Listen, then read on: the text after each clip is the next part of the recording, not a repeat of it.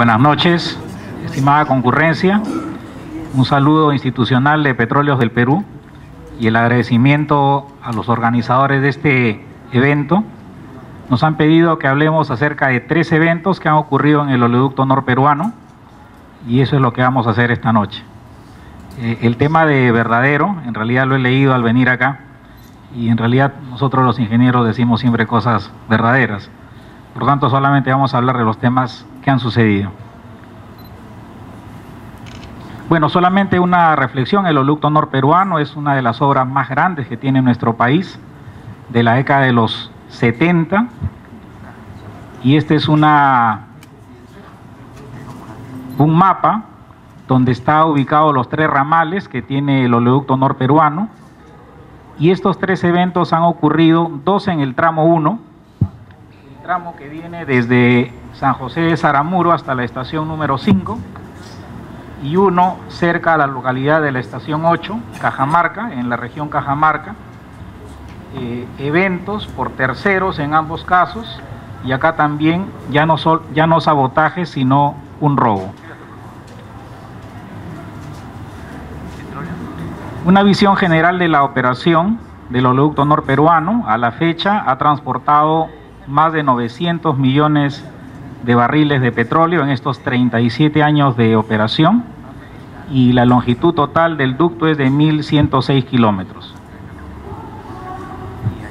Eh, actualmente, una visión general también de su capacidad de transporte, la capacidad del ducto en el tramo 1 es de 32 mil barriles por día, eh, por la viscosidad del hidrocarburo, es un, es un petróleo que tiene una viscosidad entre 600 y 700 centistock a la temperatura de bombeo, muy alejada de las características de diseño que en la época del 77, cuando empieza la operación, estaba alrededor de los 35 centistock, un crudo bastante ligero. El transporte eh, actual por el oleoducto es de 13 mil barriles por día, es decir, el oleoducto funciona a un 41% de su capacidad.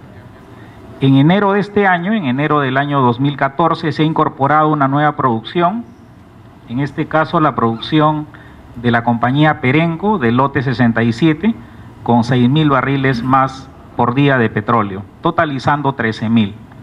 Es decir, que la capacidad anterior estaba muy alejada del, total, por cuanto solamente estábamos transportando 2 mil barriles de crudo Maina, más 4.500 barriles de residual proveniente de la refinería Selva en la ciudad de Iquitos.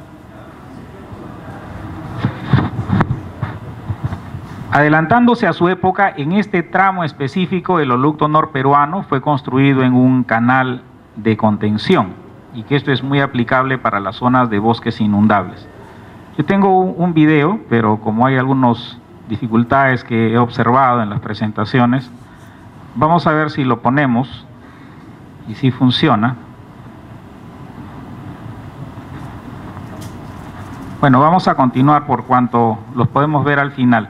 Lo que les trataba de indicar en este caso es que el derrame ocurrido y que se ha mostrado en algunas eh, diapositivas y también en algunos programas televisivos no ha ocurrido ni en un río, no ha ocurrido tampoco en una quebrada, en un curso de agua natural sino que ha ocurrido en un canal exprofesamente construido para contener el petróleo en caso de una, de una contingencia, como ha sucedido. El primer evento es un sabotaje en el kilómetro 20 del tramo 1 del oleoducto norperuano. Esto lo hemos detectado el día 16 de noviembre a las 8 horas el bombeo estaba detenido desde el día 13 al notar una diferencia a través del sistema de control entre lo enviado por la estación 5 y lo recibido, perdón, lo enviado en la estación 1 y lo recibido en la estación 5.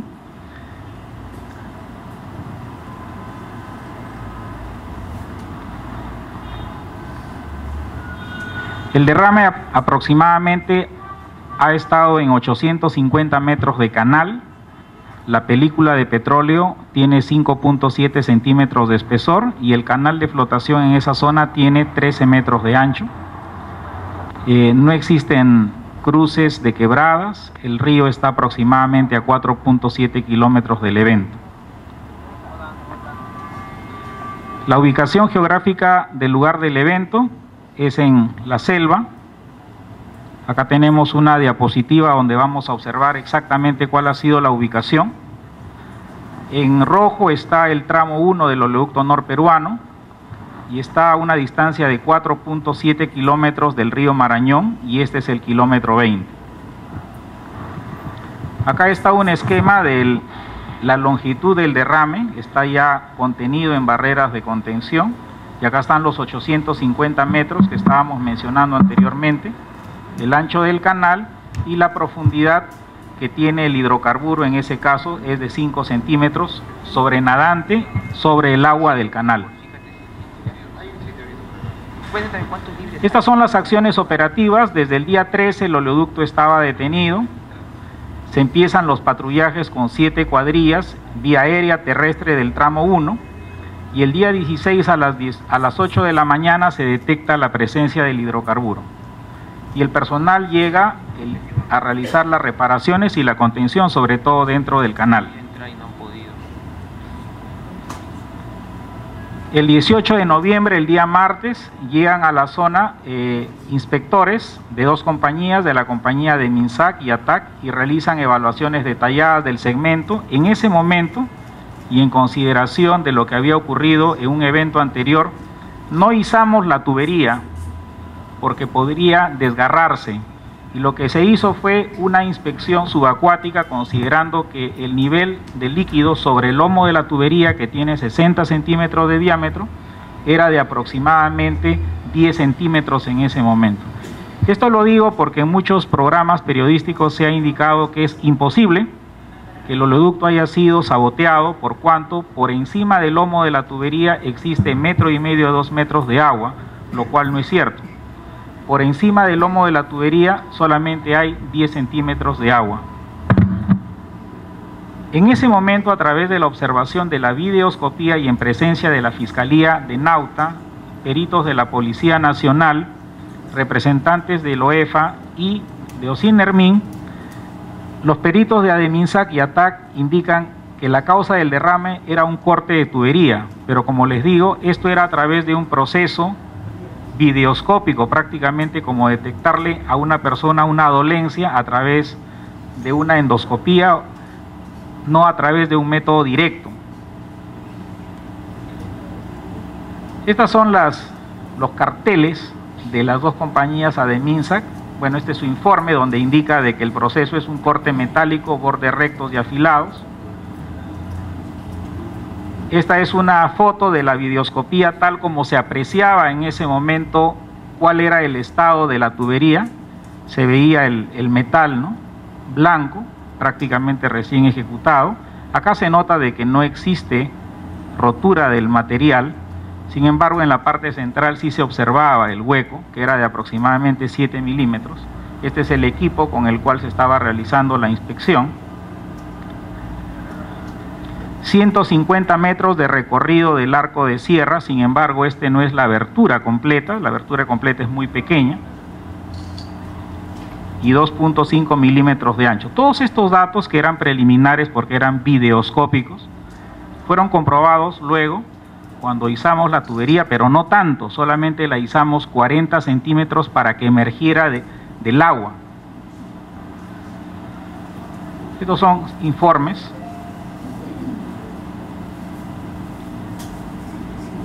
Esta es la primera constatación de la Fiscalía Ambiental donde se dice que el hidrocarburo está contenido en el canal respecto de un área de vegetación afectada solamente, la cual resulta ser mínima, y que no existen cuerpos de agua natural afectados porque el petróleo está en un canal.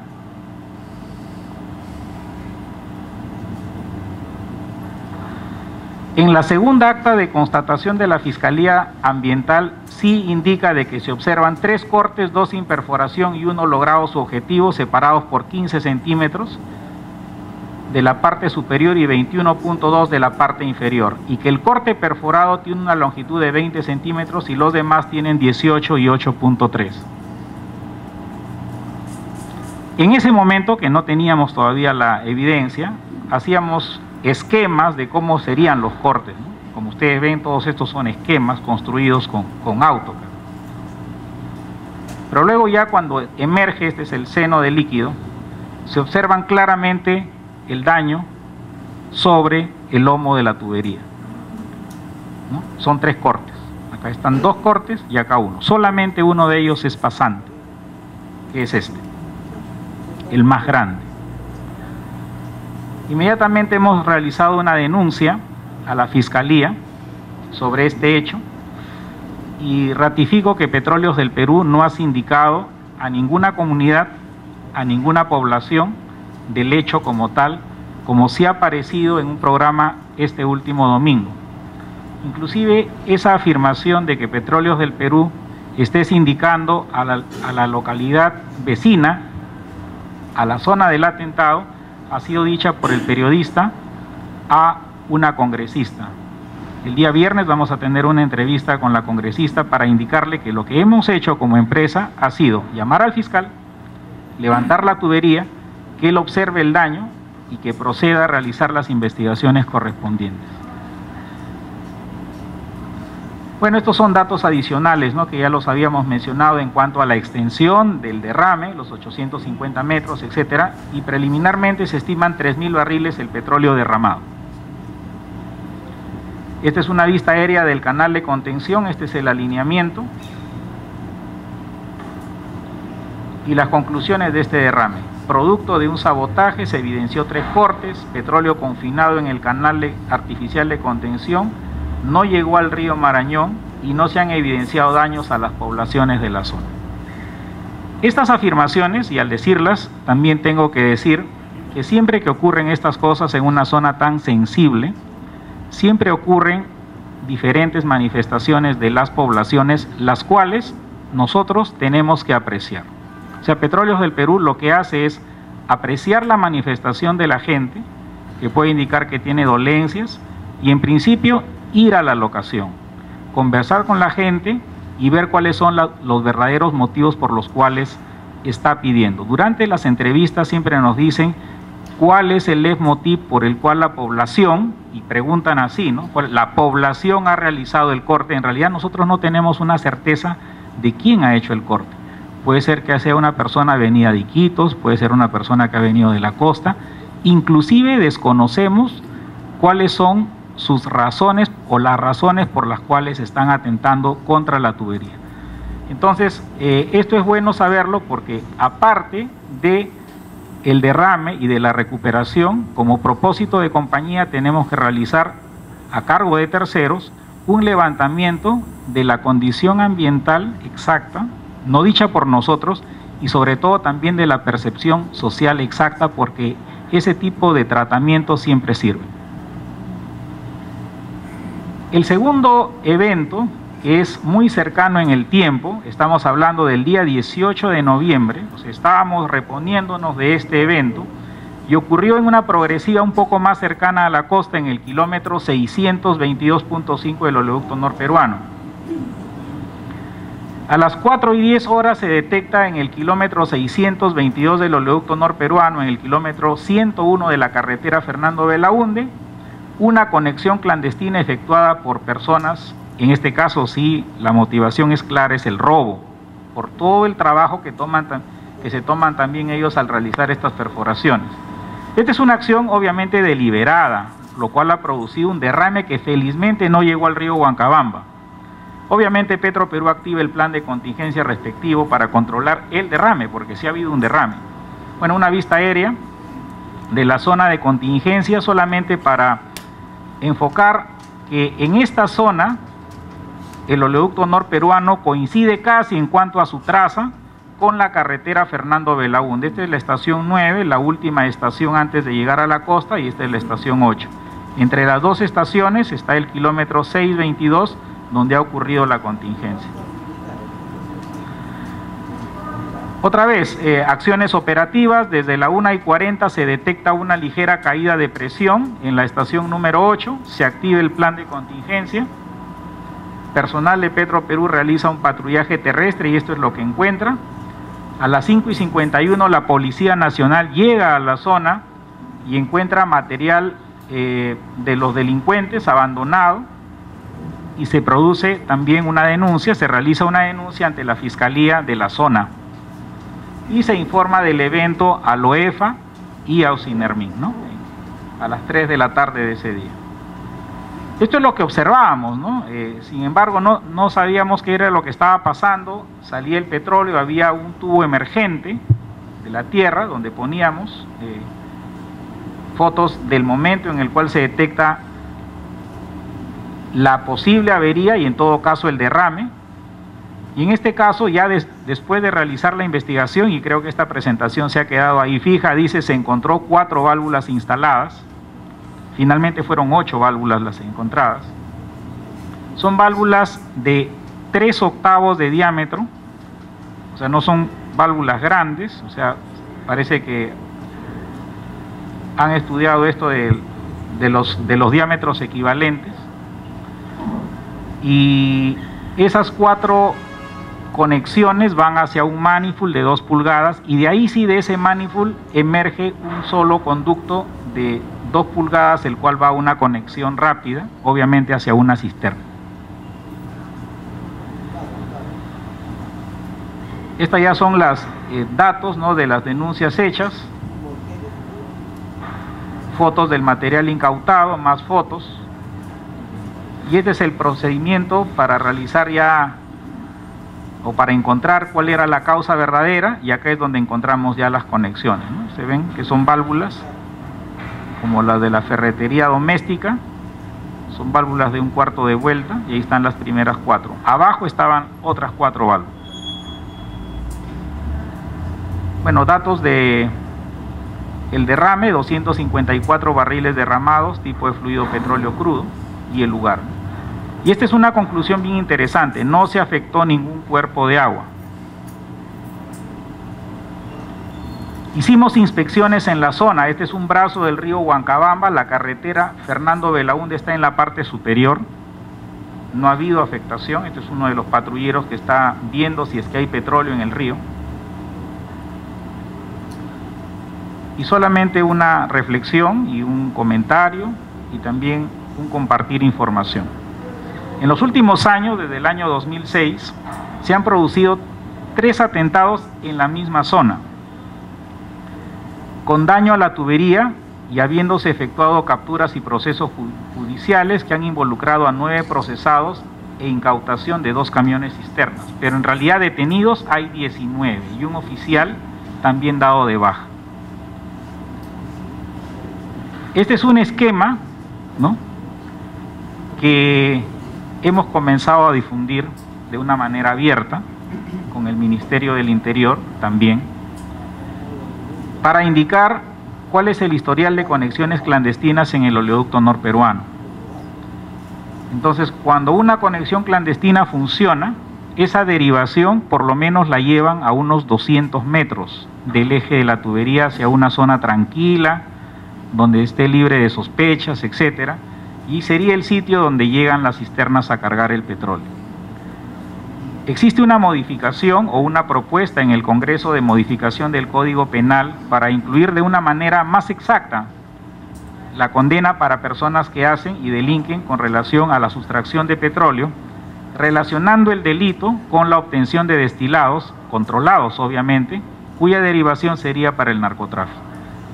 El tema es complejo porque las bandas son organizadas, y por eso eh, el patrullaje, ya en los últimos dos años, se hace con personal incógnito a través de inteligencia y me imagino que la Policía Nacional también tendrá el mismo propósito.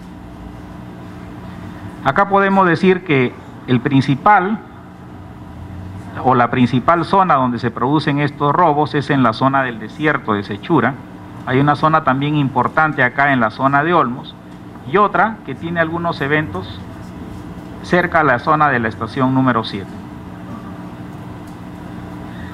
Y luego, la tercera ocurrencia, la ocurrencia del kilómetro 41.8 del tramo 1 del oleoducto norperuano. Esto ocurrió el día 22 de junio, se observa una caída brusca en el sistema escada de la presión y se procede a detener el bombeo y activar el plan de contingencia. Se realizan inspecciones aéreas para llegar exactamente a la fuga, a cuál era el sitio de la fuga, y el día 3006, eh, con la colaboración de los pobladores, ubicamos que esta fuga de petróleo estaba eh, en el canal artificial de contención en el kilómetro 41.8 del oleoducto. Igual, ¿no? Este es el río Marañón, este es el río Cuninico, acá existen los tapones de seguridad del oleoducto y acá está el derrame.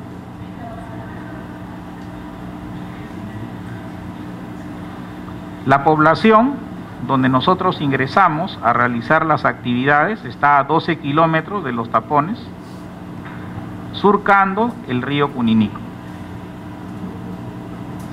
Acciones operativas, lo que se presenció en el sistema escada de la operación, una caída brusca de presión. Los patrullajes que se realizan, la ubicación del derrame y finalmente la reparación de la falla y la reanudación del bombeo, la cual se produce el día 12 de julio. En este caso la falla, esto ya es una fractura luego de haberse izado la tubería 3 metros. Y esa fue la diferencia con relación a lo que hemos tenido como experiencia en este último evento. En este caso la tubería fue izada de manera completa, sacada 3 metros del agua a través de unos pórticos. En la zona de la falla, la tubería tiene una protección, una manga termocontraíble el fiscal pudo observar que la manga termocontraíble había sido arrancada en el 50% de la parte superior. O sea, no toda la parte superior y obviamente la parte inferior estaba entera y con buena adherencia. Verificamos también cuál era el nivel de protección catódica, porque justamente el relevamiento de la corrosión es con protección catódica. Esto que se ve en la foto y que es muy similar a la foto anterior, que es de color naranja, corresponde a una protección Fusion Bond en Epoxy, que está en buen estado de conservación. Esta es, la foto reciente de la protección. Y el relevamiento para todas aquellas zonas que no tienen protección del Fusion Bond en Epoxy es con protección catódica y la protección en la zona de esta de la avería era de aproximadamente menos 870 milivoltios, es decir, que estaba con un nivel de protección más que aceptable. Otras juntas que también tenían o, o donde se observaba falta de este elastómero estaban en condiciones adecuadas. Acá nosotros lo que hemos observado son dos cosas. Por un lado, corte de esta junta termocontraíble, daño mecánico preexistente y finalmente la fractura alisaje.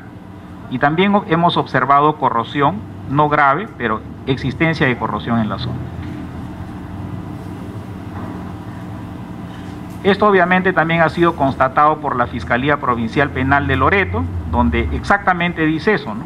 el hecho de que ha existido el retiro premeditado de la Junta Termocontraíble, inclusive da las dimensiones del retiro.